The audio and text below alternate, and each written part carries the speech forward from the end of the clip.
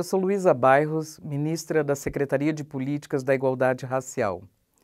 É preciso aproveitar este momento de inclusão que vivemos no Brasil, iniciado no governo Lula e que se fortalece cada vez mais com a presidenta Dilma. A democracia precisa de mais mulheres no poder. Votar Yara Bernardi, prefeita de Sorocaba, é fazer parte dessa nova história do Brasil. Vote 13.